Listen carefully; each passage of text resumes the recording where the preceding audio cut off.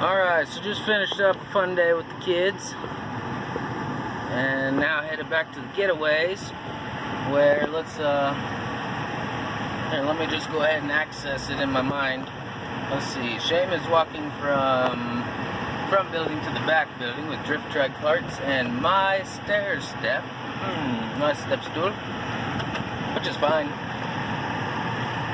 Because it's mine and he's using it without permission and he's hiding it. So, guess what that means? Energy from him leaves and energy from him goes to me, and Seamus keeps living in a pitiful mess. But let's be honest, it's him creating it, not me, so don't address me with any probability. So I can't quit rhyming. All I know is the pressure or depression is not welcome here in me. Alright. Uh, if anybody came across this video by mistake, I apologize for filling your mind with uh, clutter.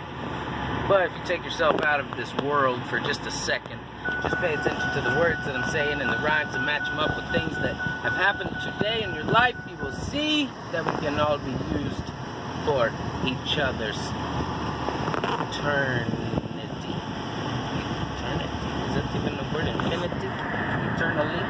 Uh, okay, anyways. So, about to pass a uh, old cop station here. It, I guess it's a National Cop Day. So, you know.